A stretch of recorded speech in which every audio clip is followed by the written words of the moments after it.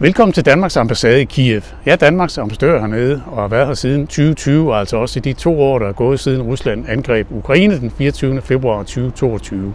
Ambassaden er normalt drift på trods af de krigsmæssige forhold. Vi har selvfølgelig særlige sikkerhedsprocedurer. Hvis der er luftangreb, så går vi i beskyttelsesrum, ligesom ukrainerne, men vi kan sagtens drive ambassaden. Vi har faktisk aldrig været flere medarbejdere, og det afspejler det tæt dansk-ukrainske forhold. Danmark er en af Ukraines allernærmeste partnere, når det gælder støtte. Mål per indbygger ligger vi helt i top. Mere end 80 procent af den danske bistand er forsvarsmateriel. Og det er jo selve forudsætningen for, at Ukraine kan modstå den russiske aggression. Men der er også vigtige civile komponenter. Danmark har indgået et partnerskab om genopbygning af frontlinje, frontlinjebyen Mykolaiv i det sydlige Ukraine. Det arbejder i fuld gang, og udenrigsministeren har netop indvidet det danske ambassadekontor i byen, som skal understøtte partnerskabet.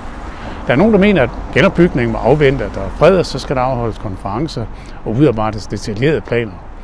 Men det kan Ukraine jo ikke vente på, og derfor er Danmark for længst gået i gang i Mykolaiv, selvom det er tæt på frontlinjen. Og det, som ukrainerne allerhelst vil have hjælp til, er at få virksomheden i gang igen, så de kan tjene deres egne penge.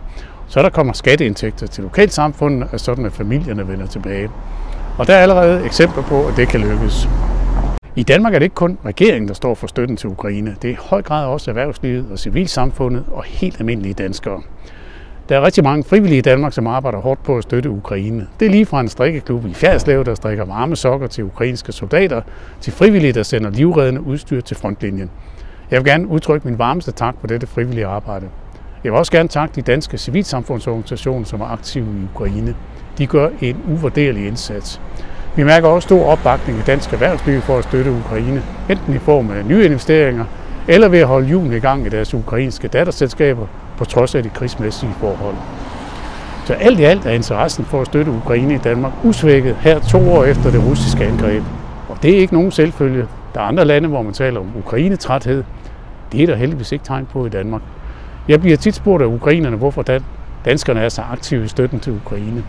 Svaret er meget enkelt. Ukraines frihed er også vores frihed.